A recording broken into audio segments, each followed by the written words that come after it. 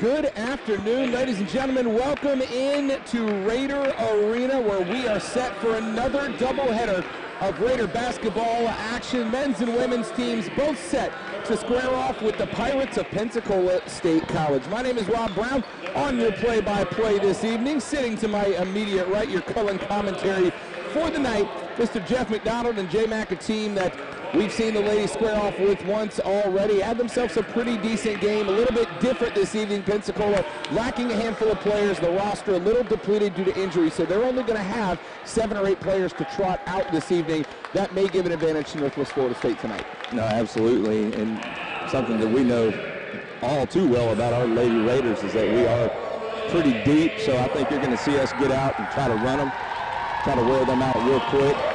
That way we can kind of drop back into a zone, relax a little bit. But I see this is probably going to be a long night for Pensacola State College.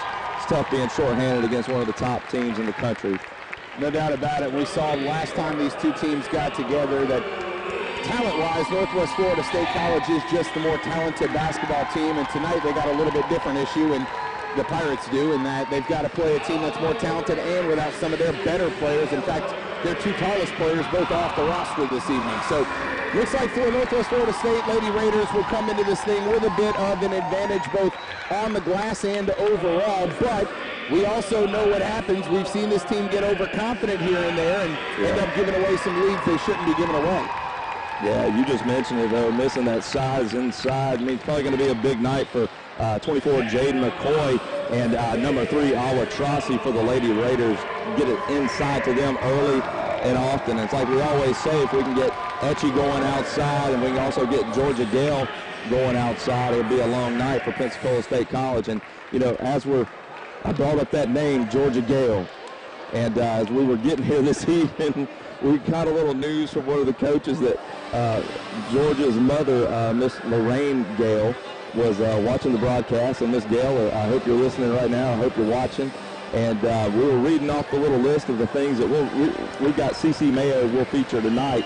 But last uh, Wednesday night we featured Georgia, kind of just with some background information and some funny little tidbits. And one of the things that they were asking, uh, what was it exactly there, Big Rob? Uh, well, they mentioned that Georgia Gale's favorite sport outside of basketball is show jumping, to which Jeff McDonald called it, quote, something they must do over in Great Britain, end quote. Yes. Uh, what yours truly knew was uh, oh, the yeah. horses. He, you knew. So to Miss Lorraine, I apologize for my cohort's behavior, and we will get that corrected for you. All right, we are underway here in Niceville, Florida. Again, Rob Brown, Jeff McDonald with you on the call for both the men's and women's Northwest Florida State College Raider basketball games.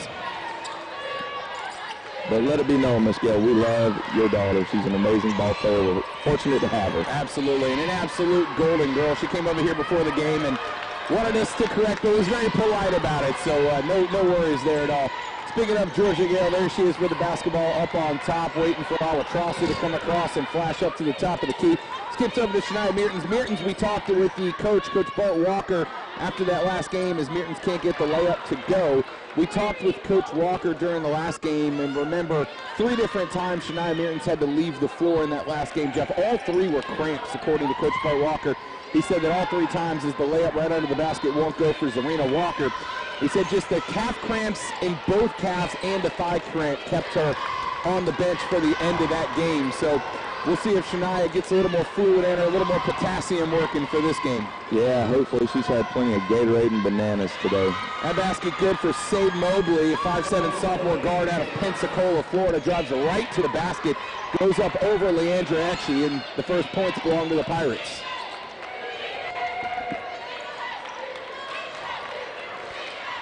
We talked about the last game, Jeff. It kind of felt like the girls came out just a little bit flat. We're only about a minute and a half into this one, but almost a similar to feel. And that long jumper is good for Shania Mertens. That may change the momentum just a little bit, but just felt a little flat to start the game with a couple of missed layups underneath. We'll see if they can pick it up. Yeah, well, here we go. This certainly helps. Some turnovers off the press. Looks like maybe Etchie. I don't know if we got a foul on that one. No foul. No foul called underneath. That one's going to go. Says some good defense to Kaya Burnett, number 23, who went square up with Etchie. Etchie tried to go through her and draw the foul, but knocked out of bounds instead. So we'll rebound, excuse me, inbound under the basket. Inside to Jaden McCoy. There's Etchie out in the wing. Up to Trossi at the high elbow. Trossi dribbles down the line, the little spin, and the Yeah. jumper's good off the glass. That should be all night right there. Get it down to Trossi and McCoy and just let them work. Tallest player on the floor this evening for the Pirates is going to be Zamaria Polk, a 6'3 freshman from Detroit. You'll see her get a lot of work, but that is the only plus six footer on the roster available this evening for the Pirates. Yeah, nice block there by Etchie. Playing some great defense so far. That press has really got Pensacola State College rattled. Couple turnovers off the press. And uh, now another bucket from Trossi. Awa Trossi battles her way down to the block and gets a little right-handed knock off the glass. Yeah, it's going to be tough stopping her down there tonight. She struggled a little bit from the floor in the last game as that jumper is good from Anita Payne. She struggled a little bit at Awa Trossi from close range last week. Looks like she may have put a little extra practice time in on those short range jumpers. This time she's two for two from the block as that, that foul is going to be called against Kaya Burnett up near half court.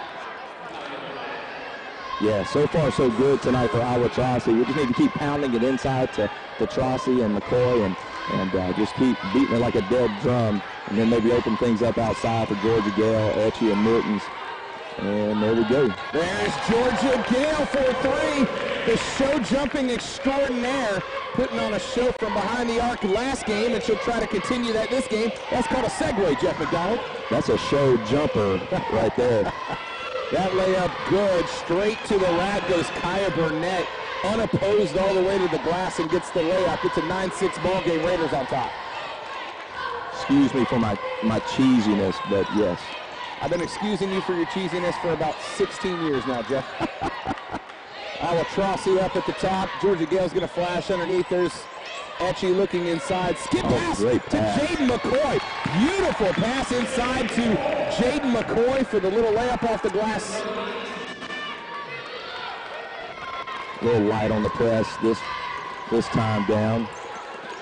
Just denying the inbounder.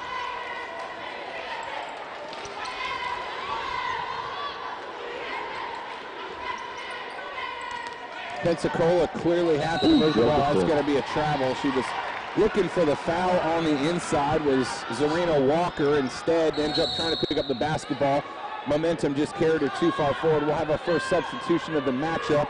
Walker will check off of the floor.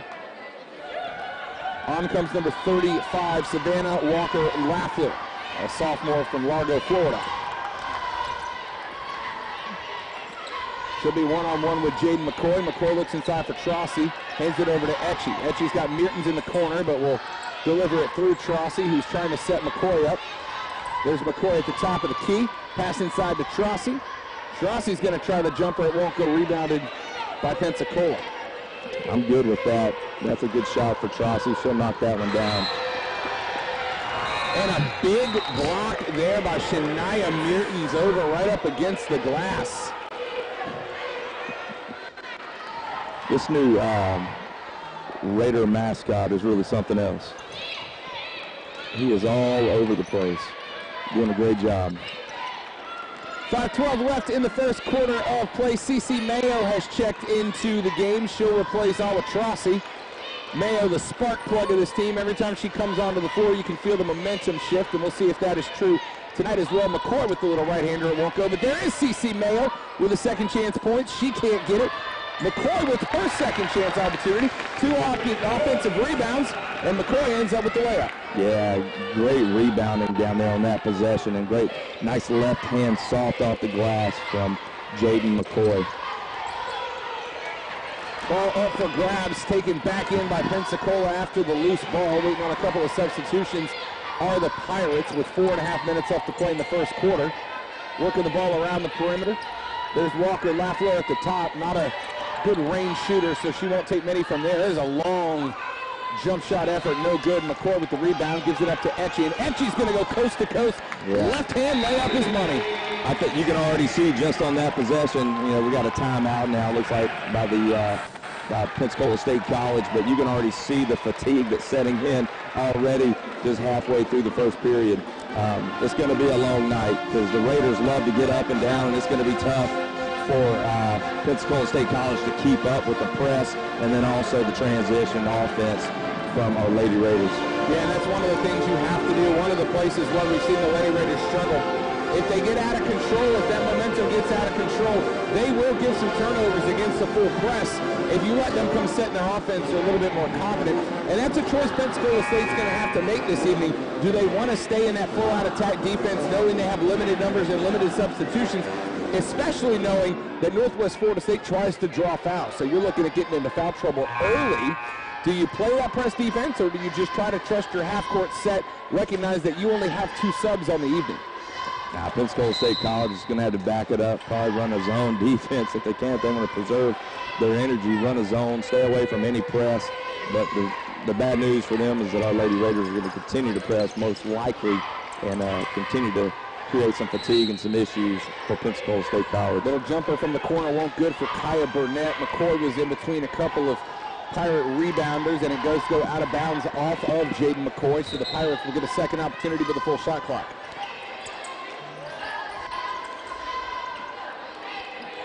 they just want to take their time here, run a, full motion offense, set some screens, some back cuts to the basket, and um, try to preserve as much energy as possible. Long range jumper is back iron, no good for the Pirates. And here comes Etchy and the Raiders.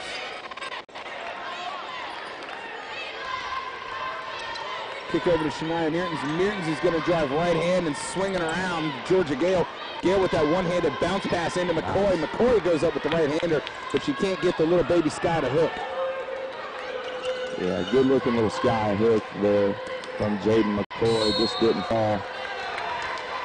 That's an offensive foul call against Kayla Jackson. Well taken from Leandra Etchy. Etchy established her position before Kaya Burnett even really got the ball on the floor and took a charge, but she went down kind of hard and she came up grimacing just a little bit as a substitution made. Awa Trossi is going to come on and replace Jaden McCoy, who gets a little one-on-one coaching from Coach Walker on the sideline. Keep an eye on Etchy here. She still kind of got that face of pain after she hit the floor hard taking that charge. And that's something we've talked about, Jeff. You and I have talked about how these ladies have really worked the last couple of weeks to take as many offensive fouls as they can, but it does take a toll on your body to get hit in the chest and go straight back onto your back like that. As we just saw out of Leandra Etchy, there's a jump all tied up underneath by Cece Mayo. Looks like that's going to come down here to the Pirates. Yeah, you're right. It does take a lot out on your body, the tailbone, the back, you name it. But if you do it just right, if you time it just right, get a little bit of that acting in there, you can kind of set yourself up with a little push off and a little lighter, lighter fall if you can. But I love it. I love to see that. It's a long start in the game today, and I love that our ladies kind of emphasize that on the defensive end of the ball. Another traveling turnover call this one on Sade Mobley. Mobley thought she had some room, but did not see Cece Mayo waiting for underneath, and so she ends up traveling. Here's a substitution. Anastasia Zakharova will check on and replace number 10, Shania Merton. So now your three-point shooting lineup is out there between Etchy, Mayo, Gale, and Zakharova. Speaking of, there's Leandra Etchy. She lets fly, but draws the back of the iron, no good. that shot had absolutely no rotation. Um, I don't know. I've, I've, noticed that a little bit with her lately, just coming straight from the hip. It's almost like she's pushing the ball rather than shooting it. But um, she's knocking it down, more power to her. But right now, it's just not looking very fluid. Zakharova inside to Mayo. Mayo over to Trossi. And Trossi's going to go up and under and draw the foul. Good secondary move from Awa Trossi. Found herself trapped. Kind of threw up the little pump fake. Put the ball on the ground one time. Went up and under. And she will take our first free throws of the afternoon.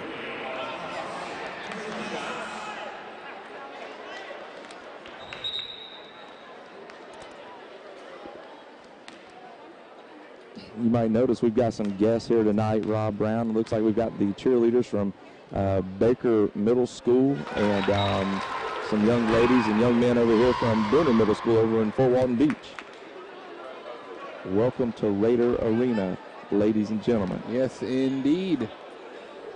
Trossi knocks down the first free throw. Back half is up and good. Nothing but strings all the way through for Awa Trossi. She's got five, uh, excuse me, six points on the evening. to get us started. Come the Pirates back on the other end. Again, a lot of off-ball movement, sets and screens. There's Georgia Gale out on defense against Anita Payne. Payne with the long-range jumper, front iron no good, and there's Etchy. She's yeah. got the speed to break away, and will go left-handed once again, and it's good. Once again, Leandra Etchy with another pair. Etchy's so explosive. It's going to be tough. Excuse me going to be tough, like I said, for these Lady Pirates to keep up, especially in the transition game as we get out and, and Etchy with her speed, her explosiveness, gets down the floor for an easy breakaway layup. Kaya Burnett with another pair for the Pirates. 19-8 in favor of the Raiders. There's Zakharova on the inside pass from C.C. Mayo. Well done on the assist. Yeah, great backdoor cut. Wide open to the basket. Great look from C.C. Mayo.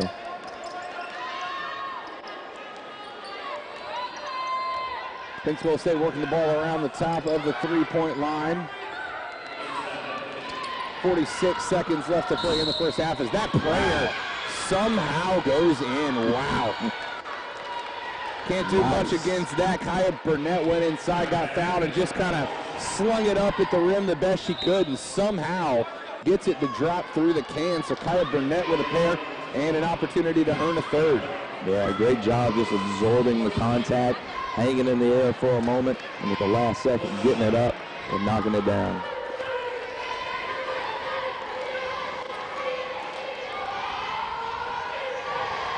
Free throw is good. That's going to bring it back to within 10 for the Pirates. Like we mentioned, just two substitutes on the bench available for the Pirates this evening, but we really haven't seen too many substitutions out of the Raiders. Remember last week we talked about it, they were kind of almost doing that platoon substitution, two, three, four at a time. But this evening, for the most part, outside of the recent addition to the game of Ariel Wilson, who's seen spot time off and on, we haven't seen a ton of substitutions for the Raiders so far. Trossey's been on the floor most of the evening, as has Mayo. Zakharova checked on a few minutes ago and is still playing. Yeah, sometimes you can substitute too often. And what that'll impact is your momentum. That'll impact what the young ladies on the floor have done, just kind of getting in a groove. Um, and then all of a sudden they're getting substituted for. So I, I do realize a difference in that, allowing these young ladies to play a little bit longer, and maybe they recognize that as an issue from Wednesday night. I don't know. But you are correct. Not as many substitutions as we saw last time. Seems like Wednesday night we were seven out of four, five for a five almost. Shania Mertens returns to the game, replacing Anastasia uh, Zakharova. Mentioned number 11, Ariel Wilson, the tallest player on the roster for the Raiders. She checks in at 6'6", a freshman from Fayetteville, North Carolina. And she, along with Awa Trossey, will play the role of the Twin Towers on the block for the Raiders. Uh, you got to take that, Trossey. Oh, thought that might fall as Awa Trossi slings it up to try to beat the buzzer. It will not go back iron. So after our first 10 minutes, it's a nine-point lead for the Northwest Florida State College Raiders.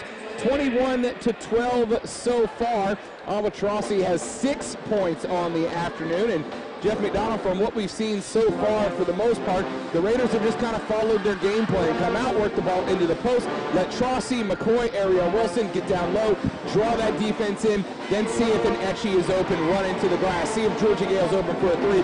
Following the template pretty good so far.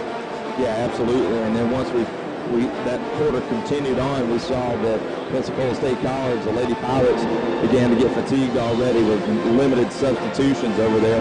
I think they got two subs on the bench, and our ladies are just getting up and down. Etchy getting out down the floor, too easy, fast break layups, and it's going to be a problem as we continue through this game for the Lady Pirates to keep up and transition, and if we continue to get that press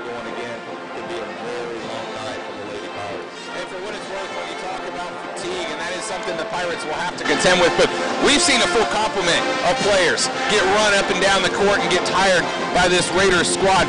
Lot of momentum, especially when they get into that back and forth transition game. We saw Leandra Etchie break away a couple of times. We've seen Shania Mertens working the ball all the, around, all the way around the top of the three-point line. So it's not like you get fatigued even with a full team, and the, the Pirates got to come in here with seven players and fight through that tonight. Yeah, absolutely. It's, it's our style of play. It's going to create issues for the Lady Pirates with a limited bench tonight. So that, that's going to be the issue as we continue on through the game. But it is nice when you've got some young ladies like Awa Trossi and Jaden McCoy, you know, that can pound it inside and do some work, create some matchup problems. And then they open things up for Georgia Gale and, and the ladies out along the perimeter. Cece Mayo, Miss Etchie over here. And uh, so well-rounded first quarter. 5 of 12 from the floor for the Pirates, 9 of 21 were the Raiders clearly winning the shots attempted category. There's CC May on the inbounds pass from Shania Mertens, takes it straight to the glass and gets the kiss. One of three from the three-point line. That one belongs to Georgia Gale. A pair of free throws attempted by Awa Trossi. She knocked down both of them, and that's where we stand so far beginning the second quarter. Long-range three, no good, and the Raiders rebound. Leandra Etchie brings the ball off the floor resets the offense, and she stepped, was looking to the inside, thought she was going to potentially find Cece Mayo running to the glass, but a Pirate defender jumped in the passing lane, and Etchie's momentum just carried that left foot forward. Travel called it a turnover. Just the first one on the evening for the Raiders. Yeah, been a pretty clean game so far. No fouls yet. Well, I take that back. We have had fouls. They're just not showing up on the scoreboard. But all in all, it has been limited in the foul department, limited in the turnover department. Good, clean game so far. Clean three-point look there is no good for Anita Payne. Etchie's got the board and comes back the other way. Etchie skips it across to Shania Mertens, and she knocks down the jumper from the corner. Shania Mertens back on the score sheet for the Raiders.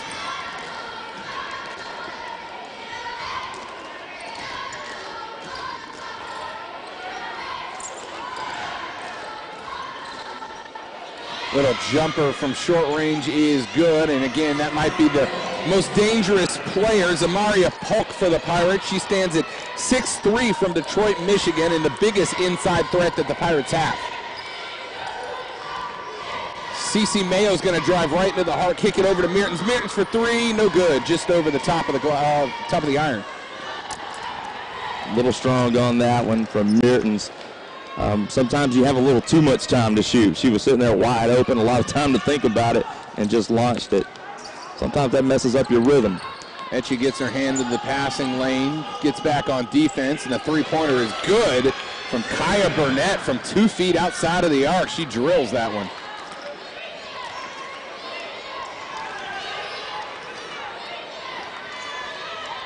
Leandra Etchie brings the ball up the floor. She has no doubt been the leader of this team all year long, but she's in there with the majority of the starting lineup. This Georgia Gale is just too strong from the corner. Yeah, good open look, though. Those are going to begin to fall for Georgia Gale. As we know, she gets heated up as the game goes on. Um, don't mind that shot at all. One Two thing. home games ago, Georgia Gale was really struggling from the three-point line. Then last week she came in here and I believe knocked down her first three on her way to a 50%ish shooting night from behind the arc, which you'll take out of Georgia Gale any night. Yeah, absolutely. The only thing that maybe we might want to consider is when we get back down to the other end of the floor on offense, if we don't get a bucket in transition or the opportunity to get into transition, would be to take advantage of uh, that shot clock and kind of wear these Lady Pirates out a little bit. First free throw is good for Kaya Burnett. Burnett's got 11 on the evening and leads all scorers on the floor so far. A couple of substitutions checking in. Savannah Walker Leffler is on, as is Sade Mobley. Second free throw is good. Down to a six-point ball game. Etchie to Mertens in the corner. Mertens up top to Trossi. Trossi's going to drive with the ball knocked out of her hands. Good defense from Kaya Burnett there to get a hand in, and it comes off of the left knee of Awa and a turnover to the Pirates. Yeah, right there. You may have noticed that Jaden McCoy kind of had her, she was behind her defender with her hand up looking for a lob pass. I'd really like to see Jaden just use that size, use that length, and go ahead and front her defender. Ask for the ball and do what she does on the inside. She's got some great moves on the inside, and I'd like to see her utilize those. Walker Laughlin misses the jumper, and George, uh, Georgia Gale comes up with the rebound.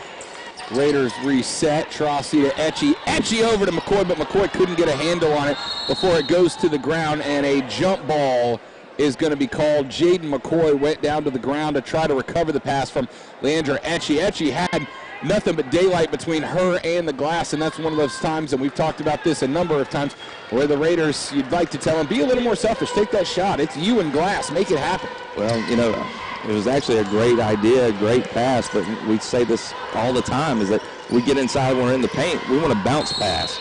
We've got arms stretched out across the paint. We need a bounce pass to get underneath that, and then easier for a girl like Jaden McCoy, Awa Trossi, to handle that. You know, we know our post players typically don't have the best hands, right? Not to say that Jaden and, and Awa don't, but you want to give her a nice, easy bounce pass that she can catch and do something with it. That was a little too much mustard on that air pass through the paint. Leandra Etchy takes another charge down low, and it's another turnover. Jaden McCoy with the inside pass, and the kiss off the glass is back on the score sheet. Etchy's now taken two charges so far to start this game, and when you've got somebody creating turnovers by taking the ball away from the offense that way, that'll go a long way towards winning some basketball games as we've got a whistle off the ball. A foul's going to be called on Awa Trossi. She is getting into it, and I would keep an eye on that matchup. Number 10 for Pensacola State, Zamaria Polk, and number 3, Awa Trossi. Keep an eye on 24, Jaden McCoy, if she gets in there with Polk as well. Polk likes to play physical basketball. She is 100% going to fight through screens. She is going to start putting that forearm right into chest and back and bellies, wherever she's got some space to do, as CC Mayo checks in and replaces Awa Trossi.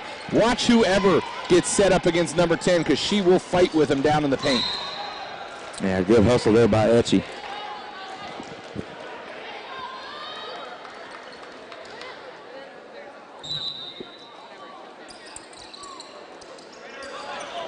Pass over to the corner, and the jumping out of control shot is no good. Quick pass up to Mertens. Mertens goes up with the right hand, fights through the defense, and gets a bucket. Yeah, great job by Etchy there, getting that outlet pass out down where Mertens could do something with it. Spin move right into the waiting defense of CC Mayo, and the ball's going to get knocked off of Mayo's hand and go out of bounds. She's kind of got a look of wonderment, thinking that it reflected back into the hands of the Pirate shooter, but the officials say it'll stay on this end, eight-point ball game. And another offensive foul called on the Pirates. That one is, and just like we were talking about, Zamaria Polk. Polk gets called with the offensive foul for throwing that elbow, and keep an eye on that, especially now considering that Zamaria Polk has her first foul of the night. But we've seen that this team is, or excuse me, these officials are willing to call these offensive fouls. That could put the Pirates into some trouble if Polk can't settle down in the paint. Yeah, they're going to need both Polk and number 35, Savannah Walker Lafler, down there to try to help slow down Trossi and McCoy. Look at McCoy just taking it. Gale lost the ball into the hands of Anita Payne. Payne tried to turn away from Georgia Gale, and waiting right there was Jaden McCoy to rip the ball away from her. Two quick turnovers. It ends up with McCoy, and she kisses it off the glass for a deuce. Yeah, just flexing on her right there. Big Rob just ripped it right out of her hands, turned around, left hand off the glass.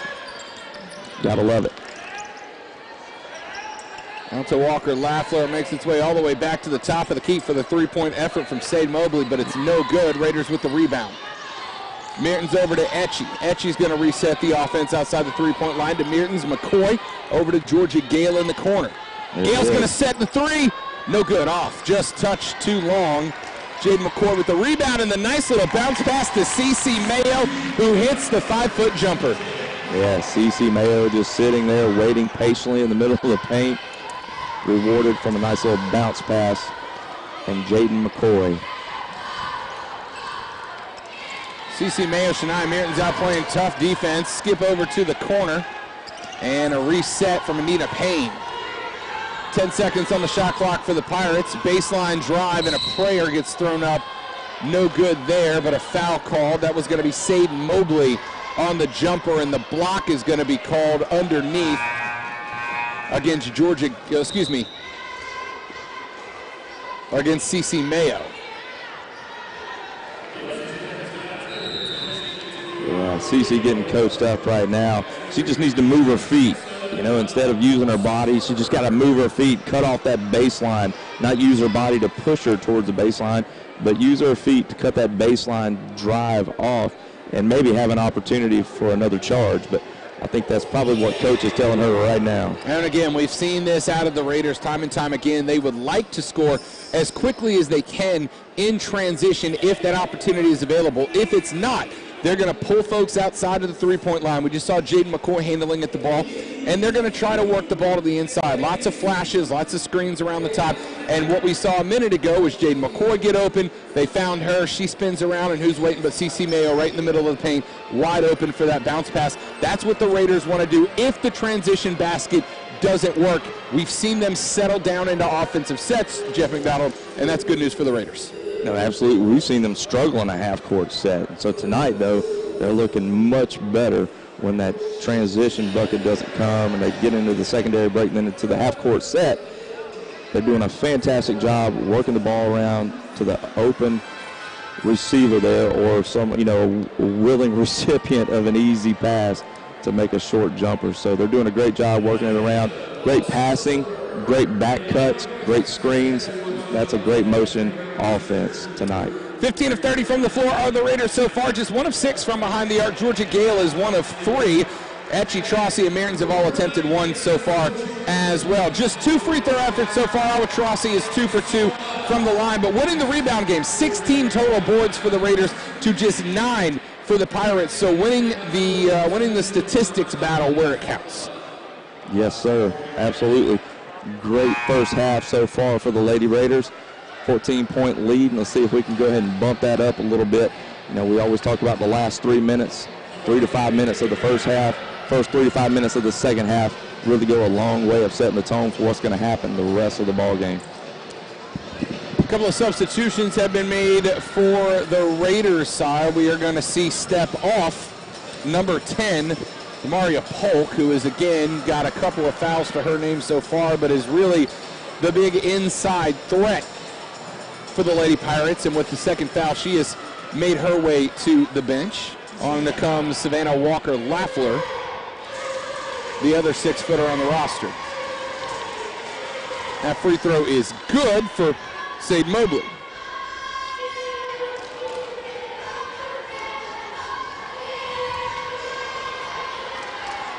Second free throw is no good off the mark, and Shania Mertens is going to come out with the rebound. Mertens ahead to Georgia Gale. Gale looking will reset the offense back up to Mertens. There's McCoy. McCoy over to Etchy. Etchy's looking to the right, trying to find McCoy on the inside against Walker left. Road to go back up to Mertens. Mertens over to CC Mayo. Mayo's going to step inside and threaten the drive. Won't go. Look at that bounce pass and a secondary pass to Jaden McCoy, who goes up left-handed, but is fouled by Savannah Walker Laffler. Great ball movement on the interior from the Raiders. Yeah, great little give and go there between Etchy and Mayo, and then Mayo with a great vision and look down to Jaden McCoy. McCoy headed to the stripe for her first attempts this afternoon. First one is no good, hits the right side of the rim and comes out.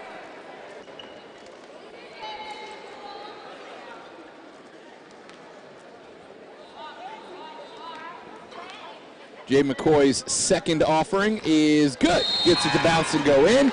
And a substitution on coming. Gabriela Sales will check in. She'll replace Shania Mertens, her first action of the evening for number 22. Pick up the Pirates trailing by 14, just over three minutes remaining in the first half.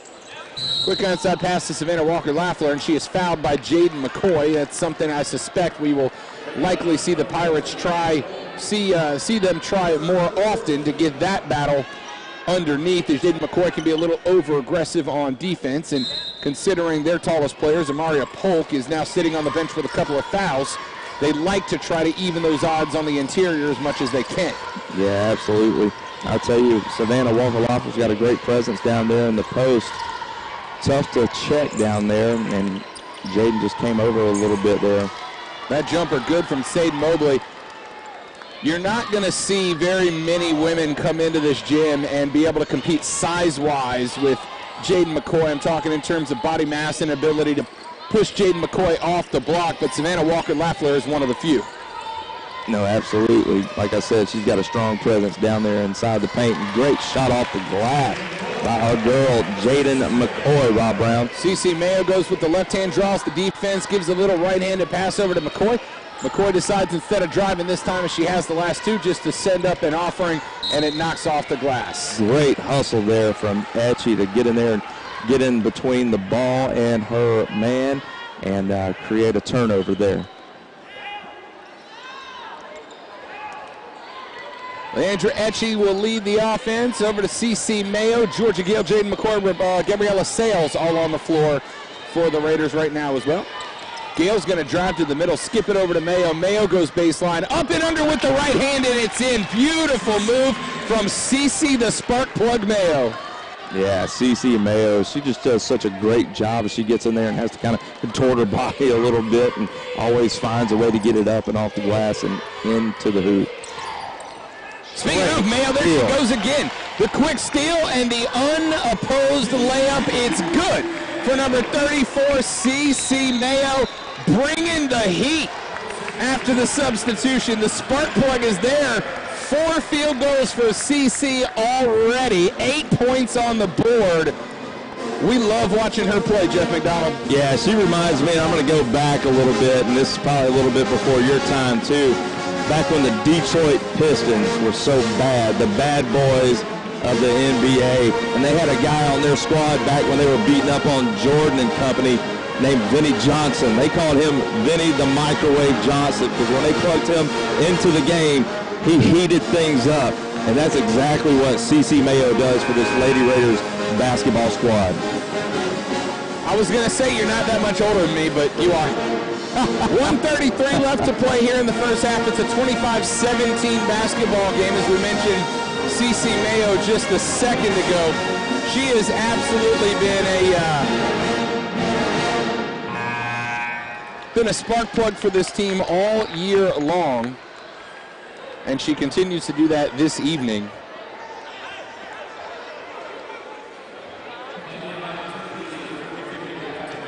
We'll get that scoreboard back up for you here in just one moment, but there we go. Up.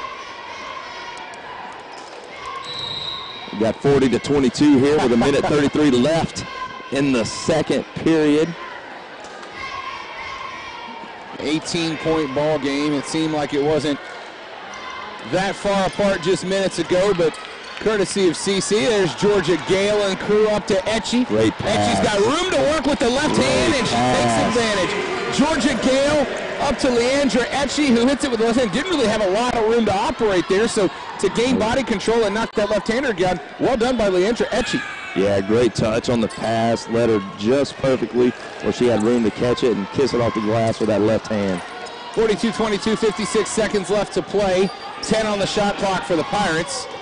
Nice little pump fake there, and the jumper is good. Good move from Kayla Jackson.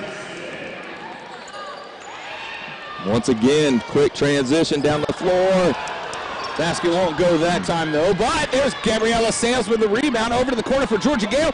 Bucket, three points for Georgia Gale. You know it's never long before Georgia Gale is going to knock one down and start heating things up from beyond the perimeter. So excited to see that go down just before half. Shot clock's about two seconds ahead of the game clock. 16 on the shot clock.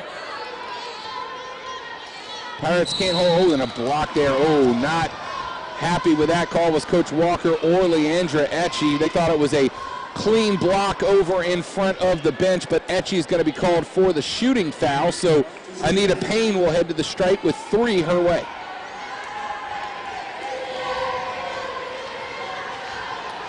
First offering is no good. Back iron and out as we'll have a substitution upcoming. That's the situation there, Robert. You got to be very careful. You want to get your hands up, prevent a clean look, but you cannot come in contact with hand, arm, or anything. Once upon a time, they used to say the hand was a part of the ball. That's not so much the case these days. Second free throw is good. She's got one more coming. Shania Mertens will replace Leandra Etchie for the final 12.7 seconds of basketball action.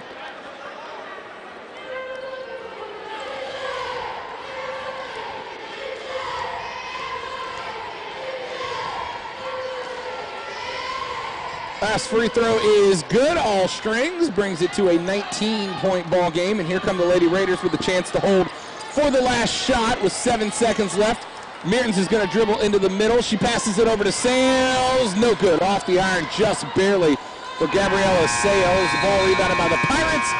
And that's how we'll end the half. 45-26 is your halftime score. The Lady Raiders in firm control of this one so far. And Jeff McDonald, not a lot to complain about out of the Lady Raiders. Had a little bit of a flat start to begin the game, but came back from that, got a little momentum going. We've seen a lot of transition basketball out of them so far. Not much to complain about. No, not at all. Sharing the ball well, playing great defense, creating those fast break opportunities, leading to some easy buckets, and just seeing these ladies work together very well here tonight.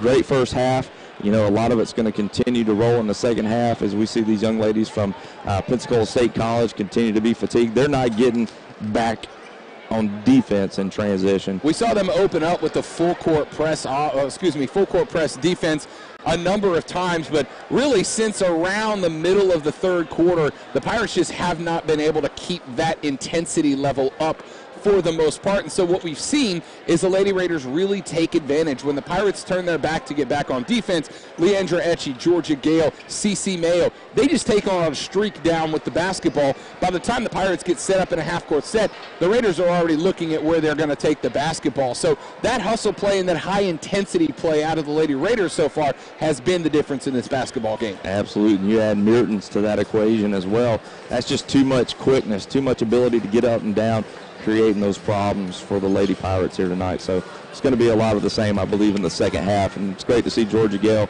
knock down a three just before half, and so she can get going and create more of an inside-outside game and uh, more to, more of that to come, I believe, in the second half. Georgia got two of four from the arc, but two of eight overall are the Lady Raiders. 20 of 37 from the floor, three of four from the stripe. They are winning the rebound battle with 17 boards, including five offensive so far. 9 of 21 from the floor of the Lady Pirates, 1 of 4 from behind the arc, and 7 of 10 from the line. Any adjustments you're looking to in the second half?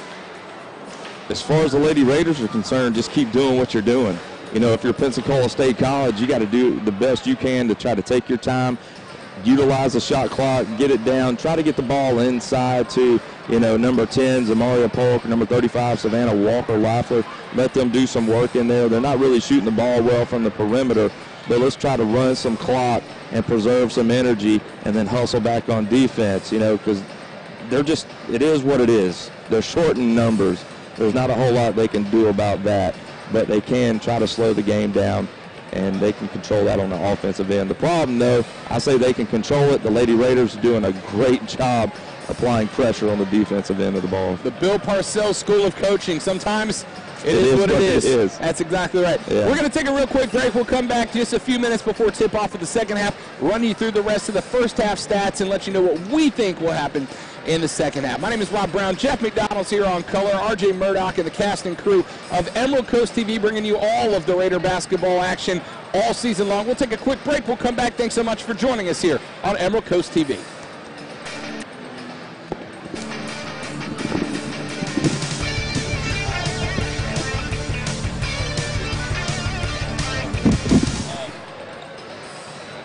Did you know Northwest Florida State College waives all state, college, and course fees for all active duty military tuition assistance students? NWF is committed to serving our military. Visit nwfsc.edu or call 850 678 5111 to learn more. Register today to design your future at Northwest Florida State College.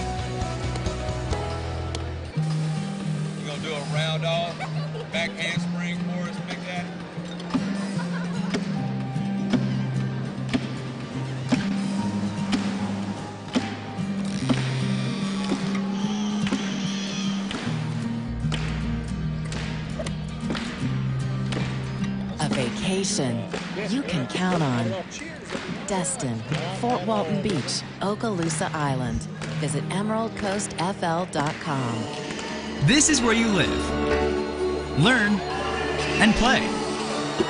Northwest Florida State College now offers a degree in hospitality and tourism, where you can train with a nationally recognized college in a globally recognized resort area. This is where you start building the foundation for your future. This is Northwest Florida, and the best is our standard. Visit bearaider.com to learn more. Did you know Northwest Florida State College waives all state, college, and course fees for all active duty military tuition assistance students? NWF is committed to serving our military. Visit nwfsc.edu or call 850 678 5111 to learn more. Register today to design your future at Northwest Florida State College.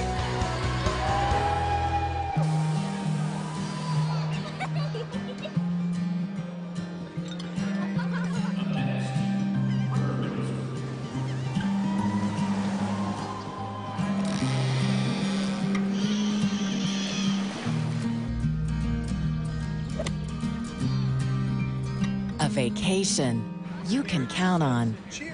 Destin, Fort Walton Beach, Okaloosa Island.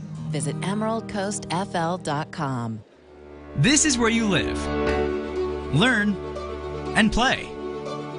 Northwest Florida State College now offers a degree in hospitality and tourism, where you can train with a nationally recognized college in a globally recognized resort area. This is where you start building the foundation for your future. This is Northwest Florida, and the best is our standard. Visit bearaider.com to learn more. Did you know Northwest Florida State College waives all state, college, and course fees for all active duty military tuition assistance students? NWF is committed to serving our military. Visit nwfsc.edu or call 850 678 5111 to learn more. Register today to design your future at Northwest Florida State College.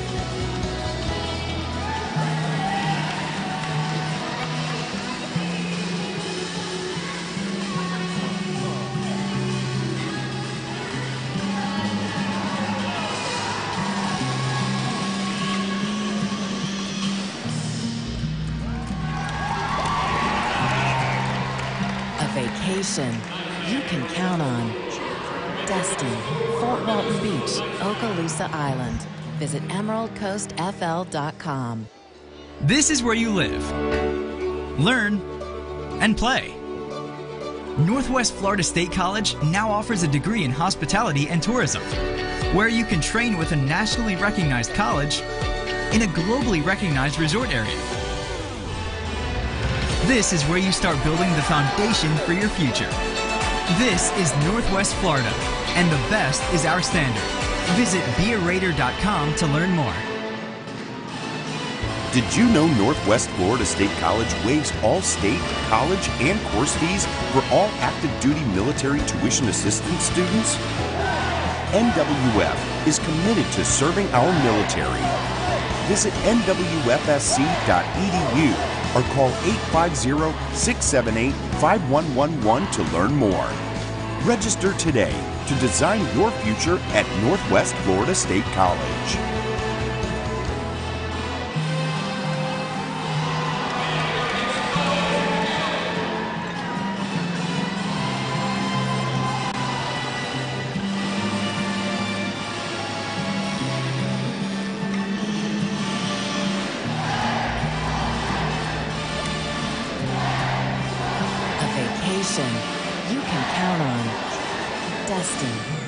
Fort Walton Beach, Okaloosa Island. Visit emeraldcoastfl.com. This is where you live, learn, and play. Northwest Florida State College now offers a degree in hospitality and tourism, where you can train with a nationally recognized college in a globally recognized resort area. This is where you start building the foundation for your future. This is Northwest Florida, and the best is our standard. Visit bearaider.com to learn more. Did you know Northwest Florida State College waives all state, college, and course fees for all active duty military tuition assistance students? NWF is committed to serving our military. Visit nwfsc.edu or call 850 678 5111 to learn more. Register today to design your future at Northwest Florida State College.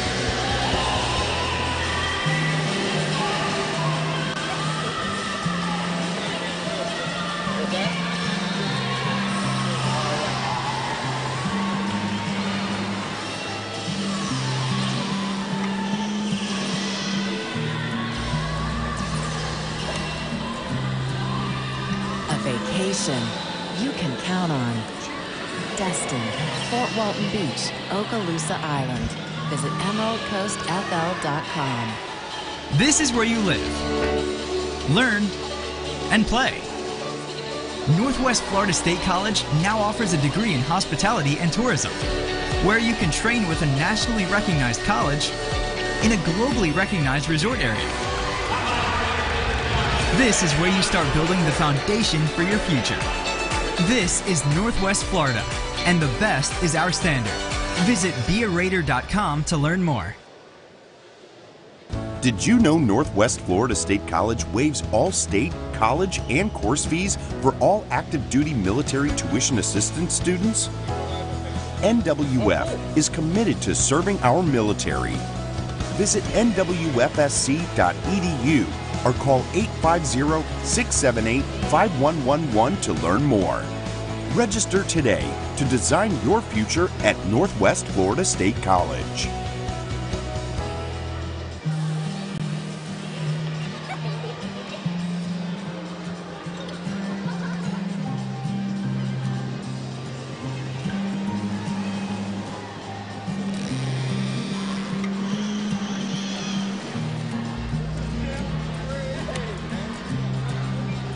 A vacation Destin, Fort Walton Beach, Okaloosa Island. Visit emeraldcoastfl.com. This is where you live, learn, and play. Northwest Florida State College now offers a degree in hospitality and tourism, where you can train with a nationally recognized college in a globally recognized resort area. This is where you start building the foundation for your future. This is Northwest Florida, and the best is our standard. Visit bearaider.com to learn more. Did you know Northwest Florida State College waives all state, college, and course fees for all active duty military tuition assistance students? NWF is committed to serving our military. Visit nwfsc.edu or call 850 678 5111 to learn more. Register today to design your future at Northwest Florida State College.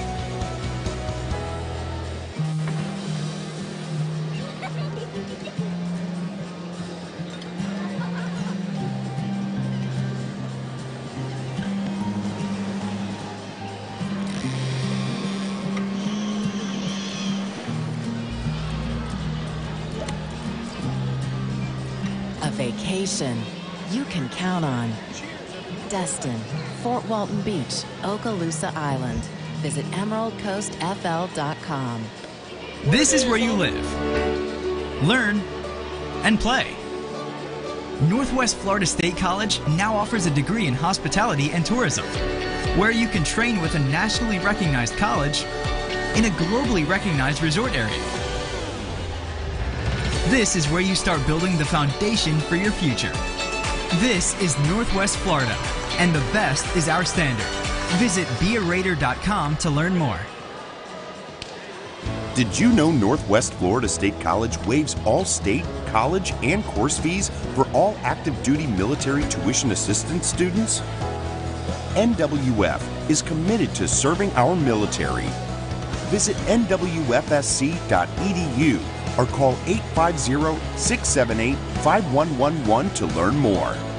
Register today to design your future at Northwest Florida State College.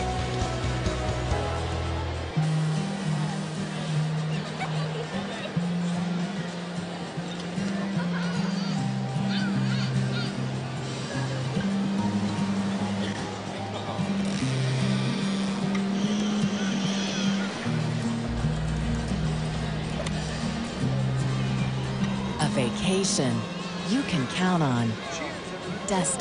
Fort Walton Beach, Okaloosa Island. Visit emeraldcoastfl.com. This is where you live, learn, and play.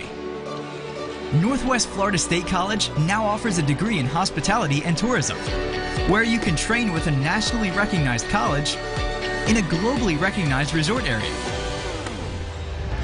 This is where you start building the foundation for your future. This is Northwest Florida, and the best is our standard. Visit bearaider.com to learn more. Did you know Northwest Florida State College waives all state, college, and course fees for all active duty military tuition assistance students? NWF is committed to serving our military. Visit nwfsc.edu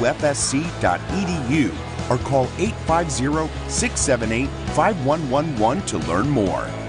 Register today to design your future at Northwest Florida State College.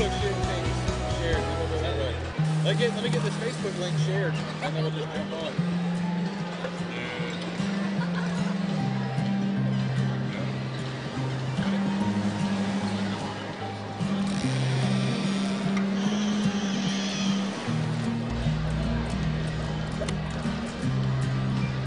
A vacation you can count on.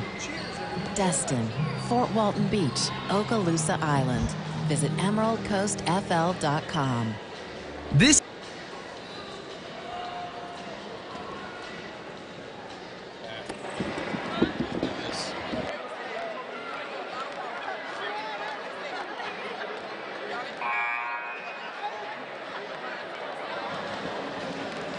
And welcome back to Raider Arena, ladies and gentlemen, where we are just seconds away from tip-off of the second half of the Northwest Florida State College Lady Raider basketball team as they play host to Pensacola State College. The Pirates are in the building this evening. It was all Raiders in the first half, partially because of the numbers game, partially just because they've started to find themselves a little bit of an identity, a team that can absolutely take advantage of the fast break transition if you give it to them.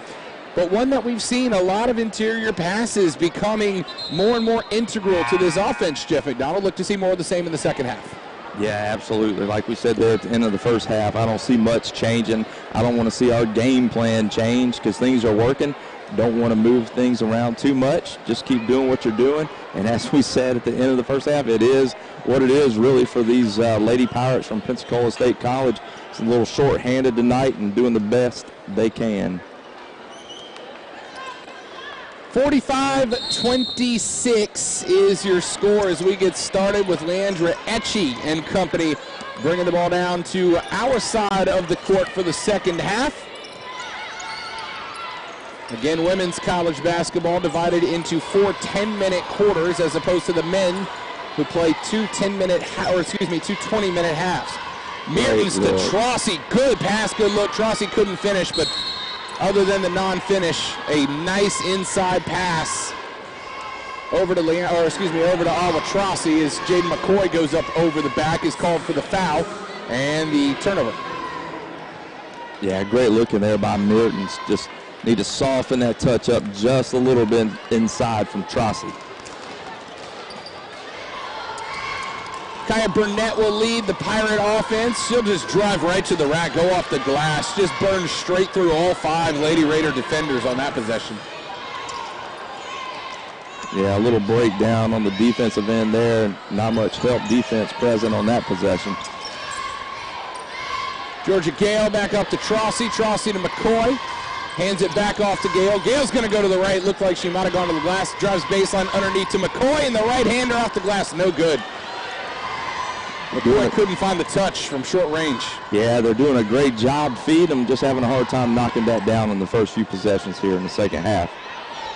That little short range jumper is good from Savannah Walker Laffler.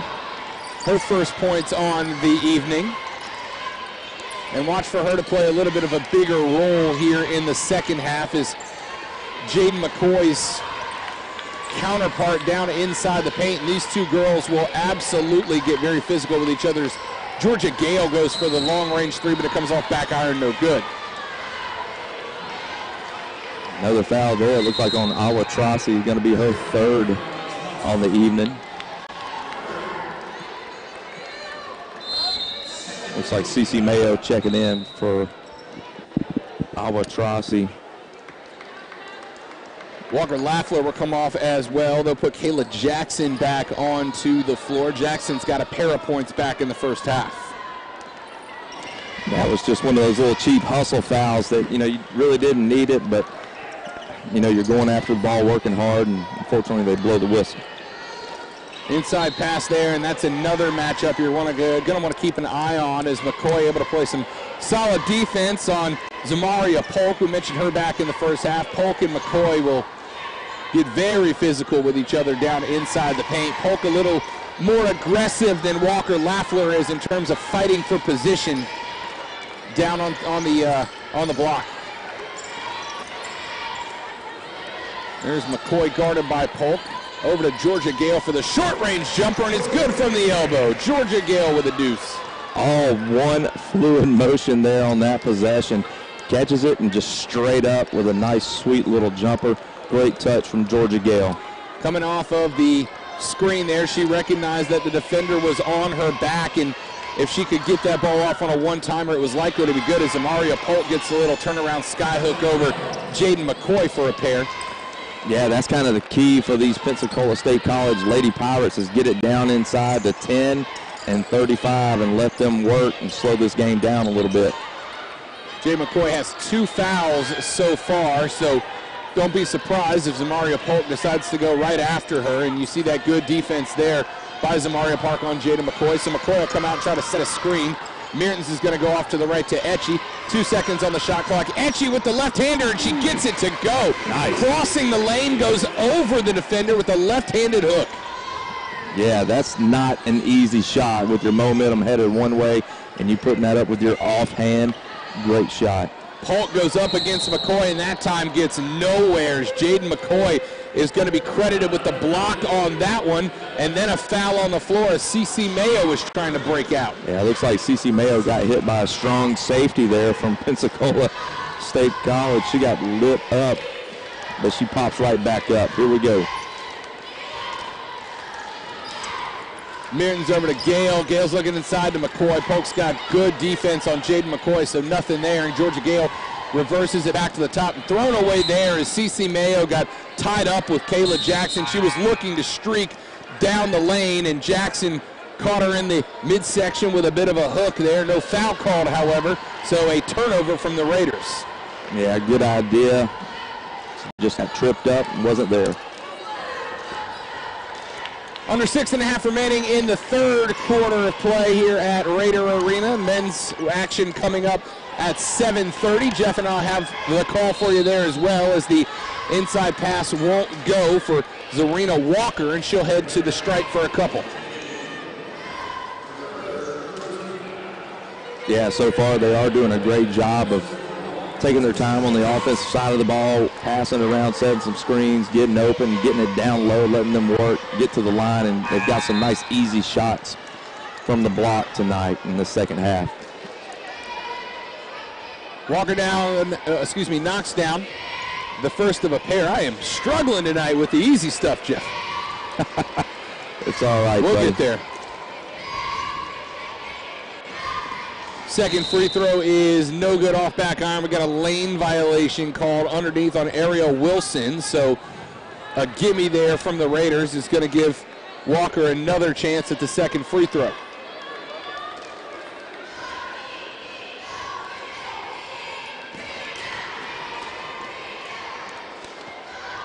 No good front iron there, but rebounded by Zamaria Polk, who goes up and is stuffed by Ariel Wilson.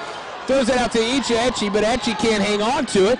And it's a second chance opportunity for the Pirates, and they convert. Kaya Burnett Leandra Etchie couldn't hang on to the outside pass. It was knocked away by the Pirates. Given to the outside to Burnett. Burnett just got the quick, easy floater down the middle of the lane. Yeah, a little hope looking arising here from the uh, Lady Pirates from Pensacola State College, making this a little bit of a ball game here so far. Down 14. They were down as many as 22 earlier as Janiyah Mertens can't get the little underneath scoop to go. So back the other way goes Burnett. It won't go. Ball's up for grabs. And it's Etchie. Leandra Etchie. Cece Mayo on the two on one. Over to Mayo and Mayo with the layup. Etchie forced Sade Mobley to commit to defending her from getting to the right side of the glass. And as soon as Mobley set her feet, Etchie just scooped it over to Mayo and got out of the way. Mayo went unobstructed to the basket. Well done from Leandra Etchie. Yeah, great work from those young ladies on the fast break. They worked so well together. We've talked about both of those players and what they can do when they get into transition. And when Etchie and Mayo get a two-on-one like that, there's not many defenders in the Panhandle Conference that are going to be able to find a way to prevent Etchie and Mayo from beating them two-on-one. No, a great two-man game running that transition offense. It's, they are absolutely hard to stop. Leandra Etchie, eight points on the night to go. How about this? Five rebounds for that young lady as well. Cece Mayo as well, having herself a game. 10 points to go with a board and a couple of assists. One of the things I love about Cece Mayo is she usually checks in as a sub. She's not a traditional starter for this team. She finds her way in six, seven, eight minutes deep in a ball game. But by the end of the third quarter, Jeff, she's almost always the lead scorer, or at least right up there towards the top. Yeah, certainly. Here she is right now as far as who we've got on the floor at the moment. She's leading the scores on the floor with 10. And, um, you know, CC Mayo, she's one that we'll talk about at the end of this period. Um, one of our young ladies we're going to highlight tonight, let you get to know her a little bit. And um, but yeah, you're absolutely right, Rob. She gets in there and makes an impact with the minutes that she gets. And as you can see right now, just looking at these stats, leading us with 10 points. Five and a half minutes left to play in the third quarter. 13 of 28 from the floor. The Pirates are one of four from deep and eight of 12 from the stripe. 13 rebounds overall. Lady Raiders 23 of 44 from the floor, two of nine from behind the arc, three of four from the stripe, and lead the rebound battle, battle with 20. Nice little right hand drive from Kaya Burnett was looking to the inside to see if she could find Zarina Walker for the quick pass underneath, but just overdoes it. And it's another turnover from the Pirates. That's going to be their 14th, just six turnovers for the Lady Raiders in this game so far. That's something we've talked about the last couple of games. That number can sometimes flare up on you, but doing a really good job controlling the basketball tonight, keeping possession. Yeah, doing a great job valuing every possession, taking care of the ball, making good passes, taking good shots. Credit to Georgia Gale right there. She just went up, threw up the floater. It ends up missing. She goes around the other side of the uh, rebound and just tips it away from the defensive player. CC Mayo was able to jump all over it and get the rock back. So a second chance possession earned there by Georgia Gale. Here, Ramsey Ross with that suit jacket tonight. My man's looking good. the athletic director has been so integral in getting this arena turned into what it is. Comes by with the uh, kind of the new age fashion, the, the old school suit, that Macklemore thrift shop suit. But I got to say, he's wearing the black tennis shoes with the suit, Jeff McDonald. Call me an old soul, man, but no, no, no, no. I got to get my man some some some dress shoes. No, sir. Those, those are dress shoes. Those are the Kohan Airs, the Nike, just like Coach DeMayo likes to wear.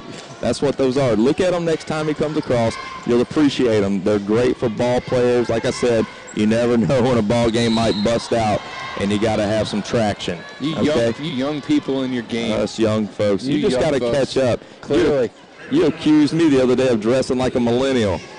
Maybe you're the one with the problem, Rob you were Brown. wearing skinny pants, Jeff. We no, all saw it. Those we were all not saw it. skinny pants. We I- all saw it. No, I, I would never wear skinny pants. I was wearing straight fitted pants. Okay? If, if There's that's a what, difference. that's what you got to tell yourself to sleep at night, buddy. There's a Mobley knocks down the first free throw after being fouled by Jaden McCoy. Second one is good as well. 51-37, just over four minutes left to play here in the third quarter. But you know, just about the time I kind of get in on that trend, Rob Brown, I hear that boot cuts are making a comeback. That's because everybody saw you in those pants and decided to get rid of that idea.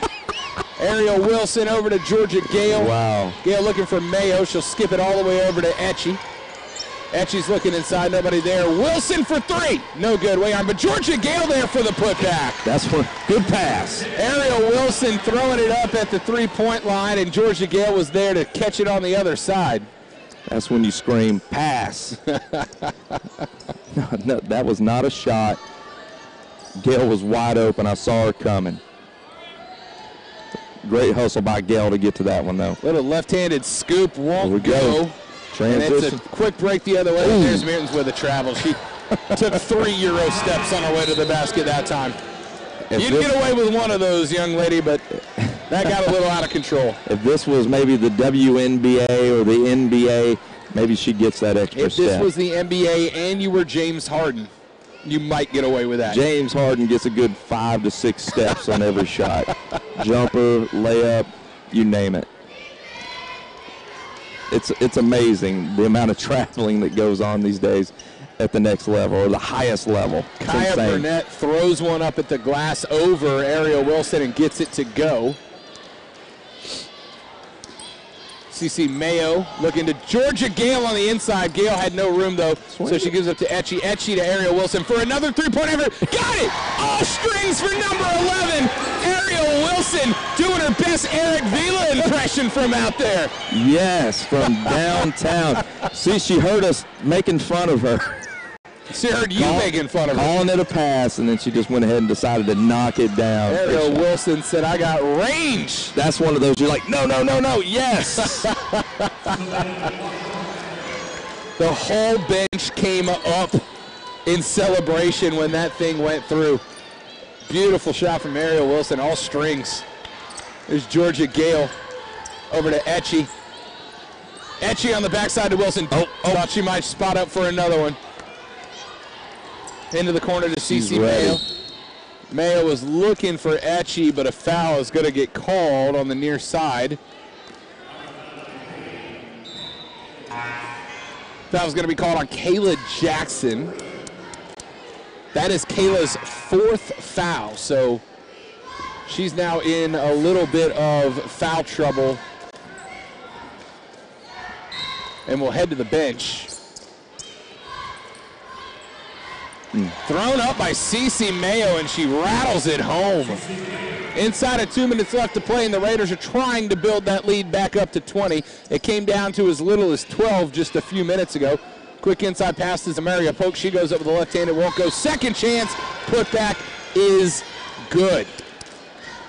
That's going to be Zarina Walker who got the rebound and went right back up in the midst of a duo of Raider defenders to earn a couple and a chance to earn three the old-fashioned way.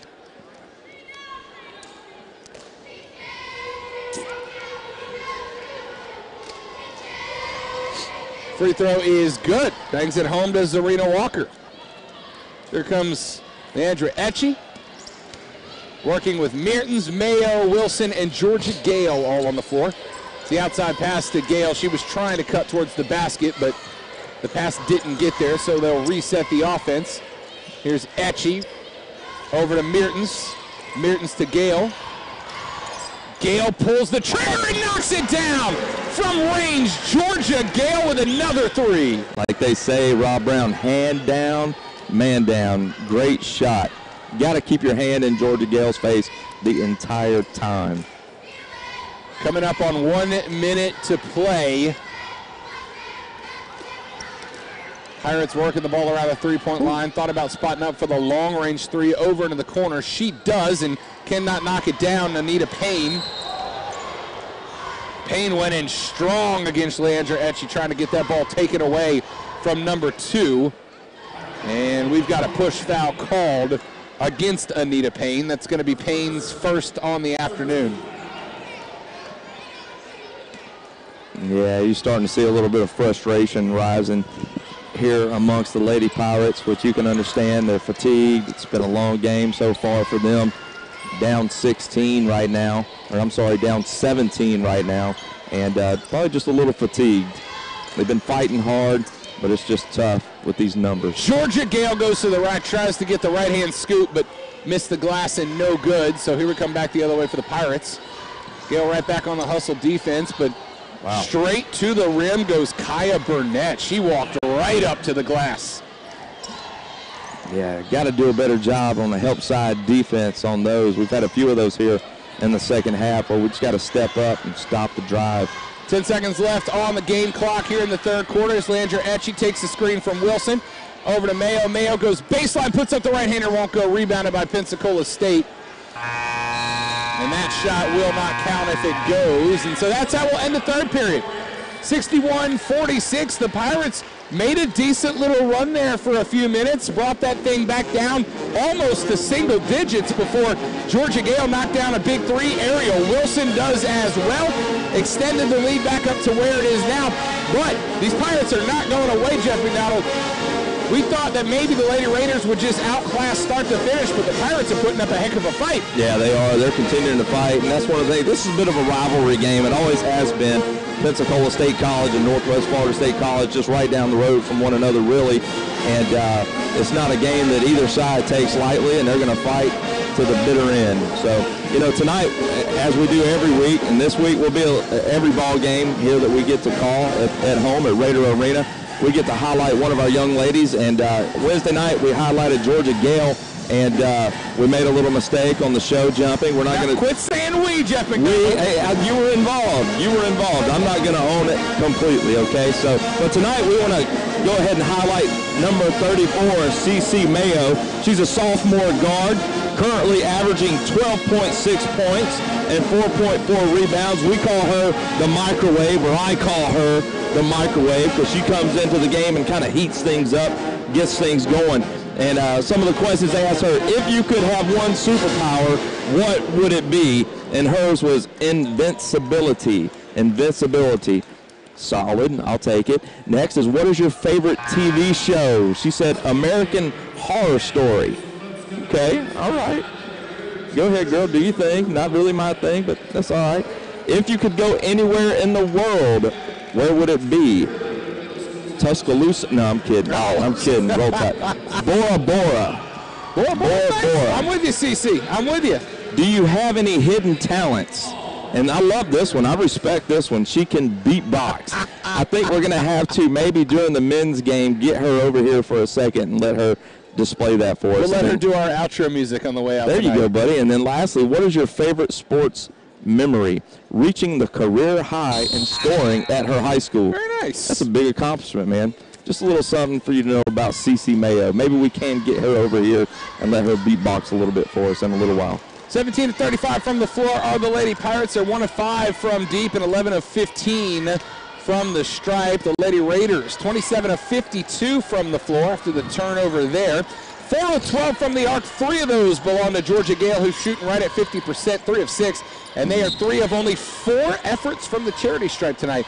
Are the Raiders also winning the rebound battle? 24 boards, including 7 offensive, to just 16 for the Lady Pirates, and that's where we stand statistically as we have the fourth quarter underway. Yeah, so far, great game from the Lady Raiders. Jaden McCoy with the left-handed scoop. If you can't go over Zamaria Polk, go around her. Good left-handed scoop from number 24. Yeah, absolutely great move. I love the skill she has down there inside the paint. Lady Pirates working the ball around the perimeter. They will try to probe that defense and find some openings to drive to the lane. There you saw the inside pass and good hustle defense there. That's a travel call. That was a good effort there underneath from Zarina Walker, but she had Jaden McCoy and Shania, uh, Shania Mertens and Ariel Wilson all kind of pawing at the basketball and just lost her body positioning on the floor. Yeah, she was covered up quick. Great defense by the Lady Raiders. Here's Mertens running the point. Etchie up with her in the backcourt, along with Georgia Gale, Jaden McCoy, and Ariel Wilson in the front court for the Lady Raiders. See the two of them working up near the top key. No white shirts in the perimeter, or excuse me, in the paint. There's Etchy. Thought about spotting up for the three. She'll skip it over to Mertens with five on the shot clock. Mertens with the little right-handed leaner, but it won't go. And the hustle play there is going to cause a jump ball. Leandra Etchy came around the outside and got the ball wrapped up. Good hustle play from Leandra Etchy to get in there. Yeah, Etchy's not one I would want to be battling with very often. She is tough and could be bad news for anybody that wants to come up and test her on a jump ball. There's Etchy over to Georgia Gale in the corner. Gale back over to Etchy. Etchy to McCoy at the free throw line. She kicks it over to Shania Mertens, goes to set the pick. Mertens comes off the pick, 20 seconds on the shot clock. Inside to McCoy, and McCoy is going to get pushed by Zamaria Polk. That's actually, to be honest, one of the weaker physical fouls we've seen called underneath on Zamaria Polk so far this evening. That is going to be Polk's third foul of the evening, and now they do have to keep an eye on number 10 with eight and a half, just barely under eight and a half left to play in the game. Yeah, you notice Trossi hasn't been back in the game very much since she picked up her third. Uh, maybe look for her to check back in here shortly. Great take by Mertens.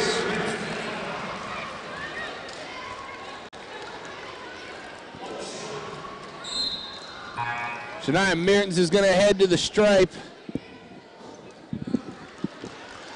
And a substitution being made as Leandra Etchy comes off the floor. And I believe that is the first time that Etchy has checked out of this game. Leandra Etchy played the full full 30 heading into the fourth quarter. Yeah, that young lady's got a motor that just won't quit. Tenacious, Absolutely. as Coach Bobby Bowden used to say, tenacious. She's got tenacity. Tenacity. Just over eight minutes left to play. Pirates are now down 20. They had it down to around a dozen points just a few minutes ago, but the Lady Raiders have settled down. Now back in that 2 3 defense. Gabriela Sales, the Brazilian, alongside Georgia Gale up on the top of that 2 3 defense. There's a running jumper that won't go. Yeah, the Lady Pirates haven't really been much of a threat from the perimeter tonight. Great idea to drop back into that 2-3 and force them to make some shots that they haven't been able to put down tonight. Jordan Mc- uh, Jaden McCoy just fighting underneath and can't get either layup to go, but gets on the floor and wins another opportunity for her squad. And a fresh shot clock to boot. 24 seconds. Shania Merton, she's going to kick it over to Ariel Wilson. Wilson's going to give it to McCoy for the jumper from the free throw line extended. You saw her hold the hand up for just a second there. Couldn't get the layup to go, so I'll do it with a little range behind me. She had that feel. She had that feel. She was reaching into the cookie jar. That's what we call it, that follow through. Get the cookies. Inside jumper blocked. Oh, and a foul called late from this far side official. Jaden thought she had all ball, and most of the gym agreed with her. Yeah, not so sure about that one. Looked pretty clean to me from our vantage point here. Speaking of Awa Trossi, she is at the scorer's table, ready to check in for the first action of the fourth quarter for number three.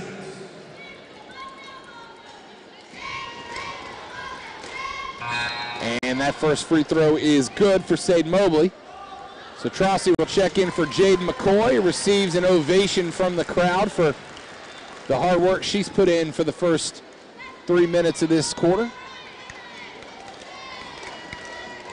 Second free throw is nothing but strings for Sade Mobley.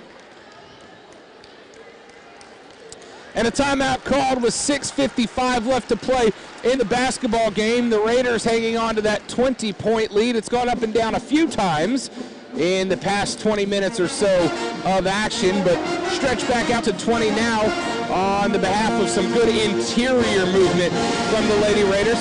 We saw in the first half, Jeff McDonald, they lived and died by the transition baskets, but since then, they've kind of started to work that inside game. We've seen Jaden McCoy get the ball a few times at the free throw line extended.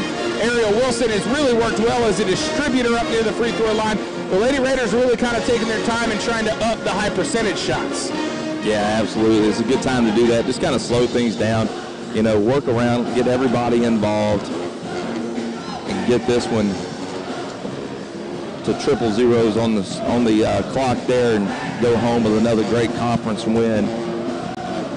Get us some good momentum going into our next ball game on the 13th against Gulf Coast State College, who uh, you know obviously we lost to back on the 26th of January, 63 to 58 be a good opportunity for us here tonight again just to kind of find that momentum kind of get our groove going and get us ready for that ball game that's going to be important for us as we're sitting there pretty close there at the top of the Panhandle Conference standings.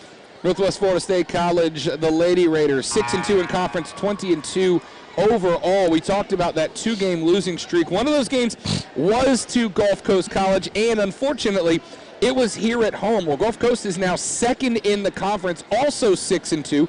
18 and 3 overall. So now Gulf Coast College will host the Lady Raiders coming up in just a few days, and the Lady Raiders will need to win that one on the road if they want to win the Panhandle Conference. We'll talk about that a little bit more towards the end of this game. Speaking of, and just something to preview, if the men's team wins this evening, they will lock up the Panhandle Conference. So tonight's a big night for the men's squad against Pensacola State College. We'll give you more of that when we get towards the 7:30 mark and the tip-off of the men's game.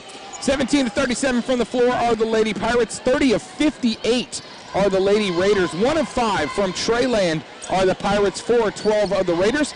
And just five free throw attempts for the Raiders tonight. They've knocked down four of those so far.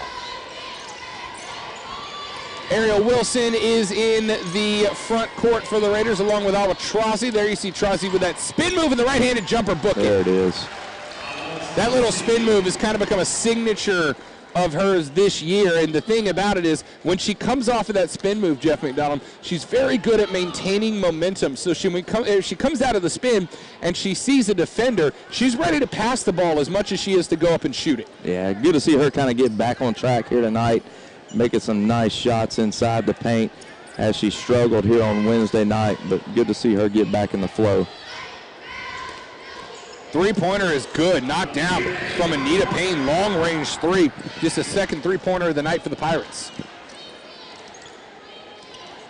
Leandra Etchie back in the game. She got about a three-minute spell and now will return to the floor.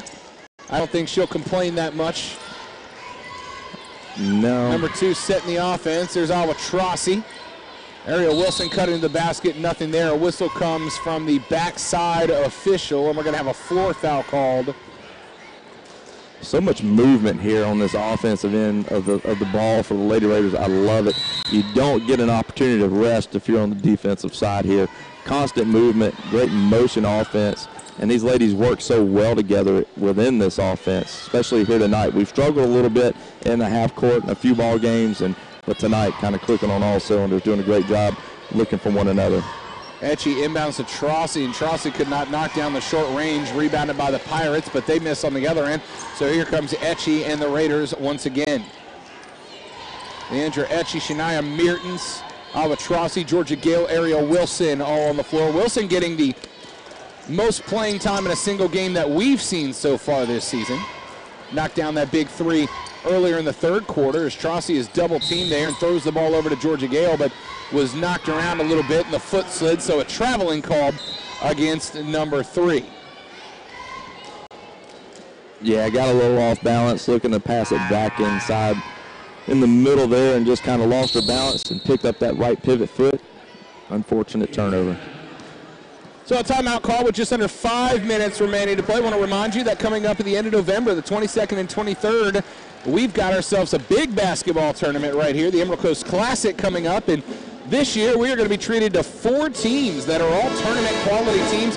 Florida State, Tennessee, Purdue, VCU, all coming here to Northwest Florida State College Raider Arena to play what I think is going to be one of the better early season tournaments in all of college basketball, Jeff McDonald. Hopefully, you and I will find a way to weasel ourselves into some involvement to sit courtside because we got four teams that are going to be out here well, likely coming off of tournament appearances. Absolutely. I was fortunate enough this past season to serve as a PA announcer for that tournament. I'll probably be, hopefully be doing that again. It was a great time.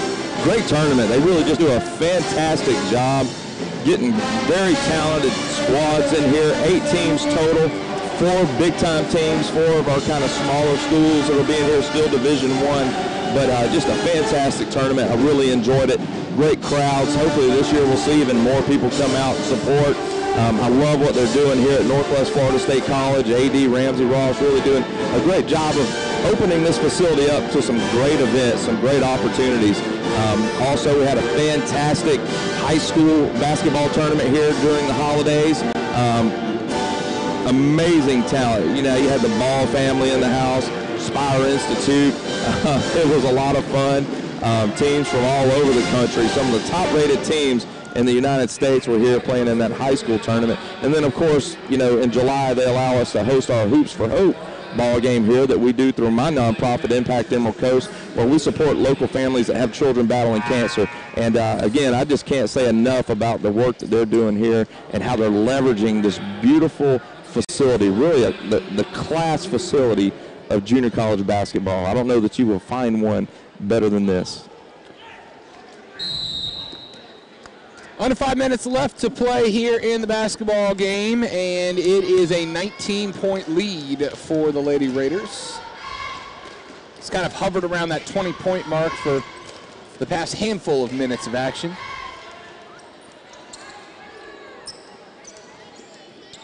Pass up to the top to reset the offense, and it's a drive to the rack that ends up in a turnover to Leandra Etchie. Yeah, good hands there by, with the effort. Looked like Georgia Gale slipped a hand in there and knocked that one loose.